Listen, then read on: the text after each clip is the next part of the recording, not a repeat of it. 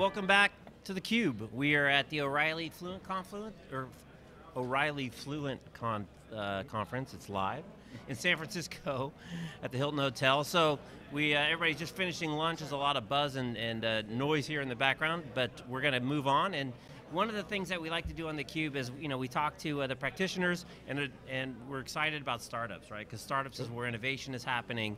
It's where people are doing new and, and, exciting things, and they actually had a startup competition here at the show. So we have with us here James Ferguson. That's right. The CEO of kWIQly. Uh, which, if you can see on the screen, is, is, is, spelled an interesting way. Well, that's, that's, that's quite easy, Jeff. Um, kilowatts, KW, IQ, intelligence, Lee quickly, fast. Oh, awesome! So All right, fast great. energy intelligence. Okay, great. So welcome to the Cube. Thank you very much. Great for you to so, have us here. Yeah. Absolutely, and obviously you have an accent, so you came from uh, from far away. Switzerland, actually. From but, Switzerland. But, yeah, native to England. Yeah. Okay, great. So what brought you, besides the uh, the competition, what brought you to, to Fluent? What's the value of coming to something like this? Uh, first of all, if you if you can get in touch with the the really top guys with the technologies, you need help, they'll give it to you. It's very open, very friendly, very supportive. It also confirms that our um, infrastructure stack makes sense. Uh, okay. we've got a great CTO, I mean, real rock star, um, who couldn't be here sadly, but he, he actually put the application in and said we've got to be there. And uh, to then win is, well, it's for him, it's great affirmation. You know? What's his name? He's, he's Andreas, Andreas Muller. Andreas, shout out for Andreas. Give him a wave to the camera. Hopefully he's watching. Uh, is he in Switzerland also? Uh, yeah, he, well, he's on the on the border of in okay. Germany. Okay, yeah. great. So one of the uh, the big themes we're talking about, obviously, is social and mobile and, and, and collaboration. All that stuff's going on. But but the new thing, and we've talked a lot about here, is the Internet of Things and the industrial internet and how you know having sensors on all these devices and this ubiquitous connected network and obviously a lot of horsepower in terms of the the CPUs and, and, the bandwidth, and how that's changing the world. And you guys are right in the midst of that. So why don't you tell us a little bit about what's going on with kWIQly and what you guys are up to, and what did you show here at the sure. uh, at the startup? Okay. Um, a little bit of background. Um, we've been doing consultancy in the energy game for a long time in buildings. So trying to help people save energy. That's simple. Commercial buildings? Yeah, big commercial buildings. Okay. Uh, Tower of London was our, our first uh, client with a new product, which is fantastic. Um, Interesting commercial application that happened in the Tower of London, yeah. I think, right? But I mean, our, our real audience is, is, typically people like um, Honeywell, who've now signed us as a supplier, okay. Um, who they, they, do energy performance contracting.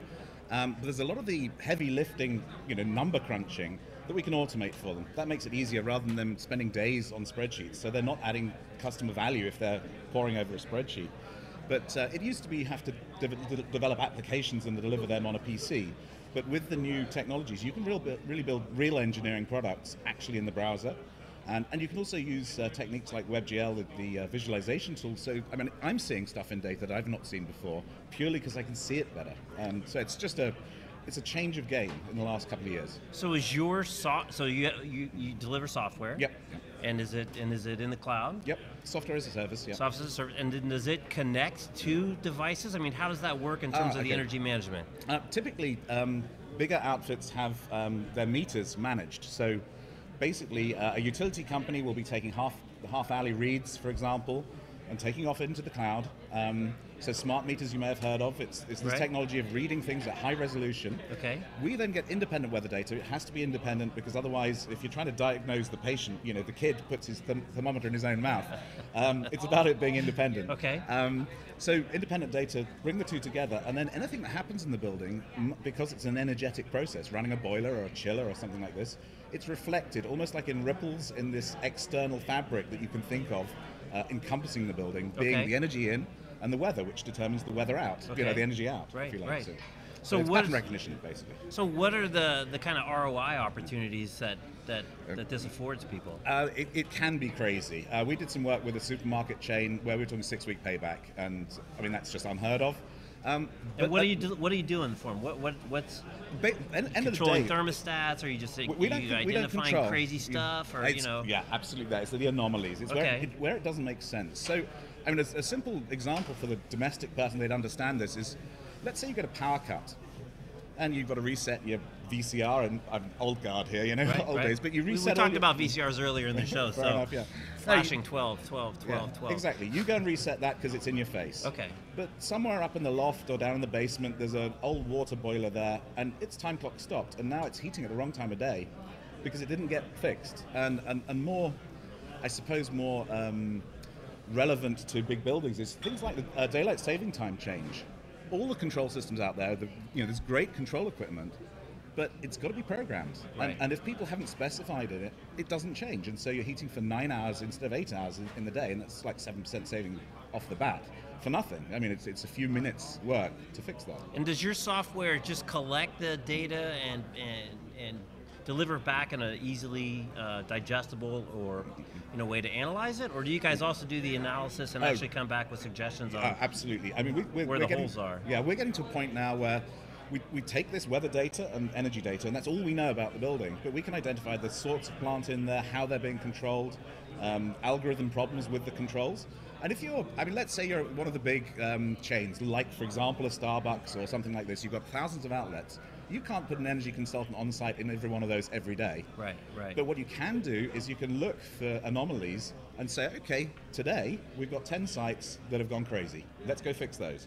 Or we've got a problem with an external temperature sensor. You know, let's send a guy with a ladder rather Okay. than sending a consultant down and then he has to work out what's wrong and then send another. You're talking 2,000 pound, uh, dollars, bucks, whatever, Right, a right, day right. costs for no gain. If you can actually brief them up front. so you're getting that you're getting that information back to corporate to the, the facilities Exactly. guys. You're yeah, giving ty- them typically they an energy action on. manager or facility manager will have that responsibility. Yeah, it's interesting. We were at the Splunk show last year, and one of their funny examples of kind of intelligence in the in the industrial internet was apparently someone in Japan figured out that one of the ways to measure the health of a building hmm? was the data coming off the elevators. And Yep. you could tell whether people were getting ready to move out, you know, business was bad. Yeah. Not energy health, but you know, tenant health Yeah. by the patterns that you could identify in these elevators. We'll, we'll see crazy stuff. I mean, in, in the simplest of cases, um, you're a pub. Um, in England, of course, we live in Uh, pubs yeah, pretty like much. pubs. A lot of beer drinking going on here yeah, too. It's not bad either. great, great event, great, great, great, great things. Um, but um, for example, you know, people will complain maybe in winter it's got a bit cold, and the, just the bar manager will go and turn the thermostat up. And then same sort of time of year, but in the spring rather than, well, sorry, yeah, spring you call it rather than the fall, Right, autumn. right, right, right. people will open the door to get cold. They leave the heating on and the door's open. And then some suddenly, you know, maybe June, July, someone will say, Why is this radiator still hot? You know, we've got the door open and the windows open and this is still hot. Right. Oh, I forgot. Right, right. And that, that forget, I forgot, can be, you know, difference between profitability or loss Right. for a small enterprise, you know, small pub or restaurant or whatever. It can be straight on the bottom line, of course. You know? Right. So talk a little about right, right Fluent software development. Uh, talk about you said you were a consultant for many years, so you've been in the For game. my sins. Yes. how how kind of the software development environment has changed as well as the infrastructure. yeah.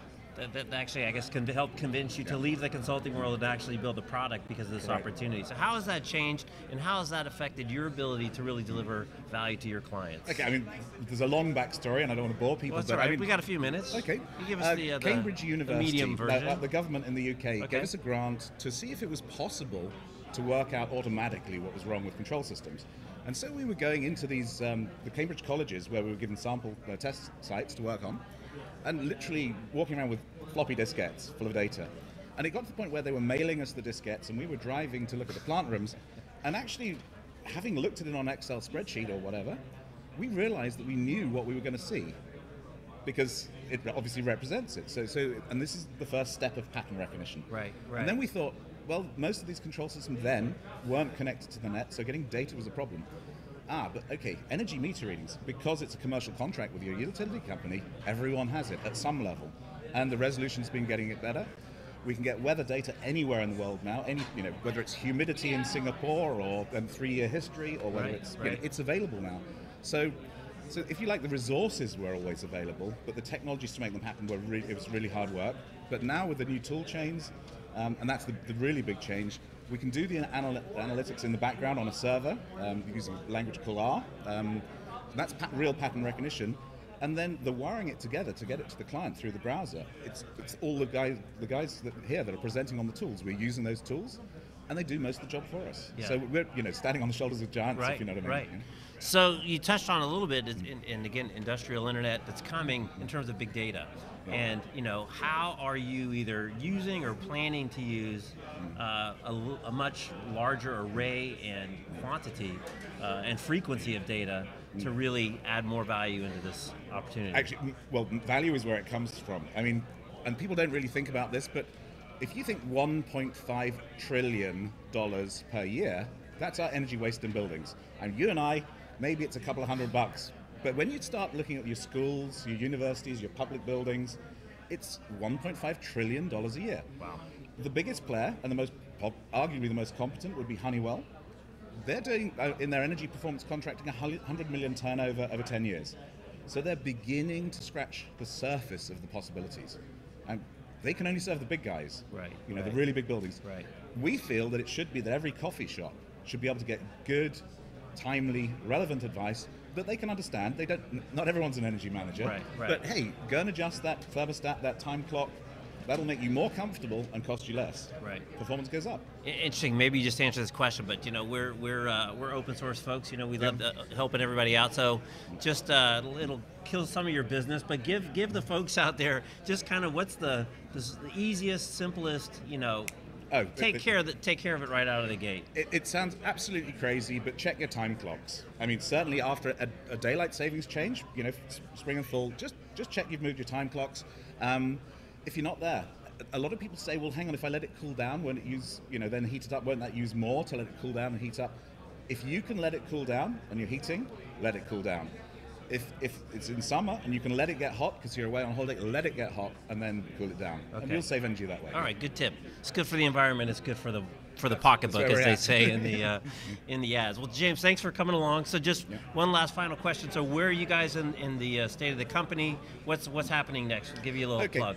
That, that's great. Thank you. Um, we've uh, well, we were uh, final at Le Web in Paris, which was great, and now we've just won here, which is. Did you win? Yeah. Oh, you're the winner. Hey. Oh, hey, that's great. I should say we're one of three winners. Oh, okay, And- one of three winners. so that's really all right. great tech here. Kind of a democracy. Yeah. That's all right. yeah, and um, um, so I mean that's, that's good for Congratulations, that's great. credibility. Yeah, It- you know, investors can see that the risks are coming down, and we're real, you know, credible, and Right, so on. right. Um, but we're beginning to get to revenue with our bigger clients, some of the big utility companies in Europe. Um, as I mentioned, Honeywell, we're, we're a supplier now for them. Right, right. And as we get to traction, we're going to be raising a seed round of about a million. Um, Okay. And that should get us on that first step and hockey Awesome. stick after that. Awesome. hope. Hopefully, there's some great investors out there, or even more importantly, customers that Yeah. uh, take advantage. Again, Investors at quickly.com, yeah, if I can just quickly.com, not spelled as we spell it.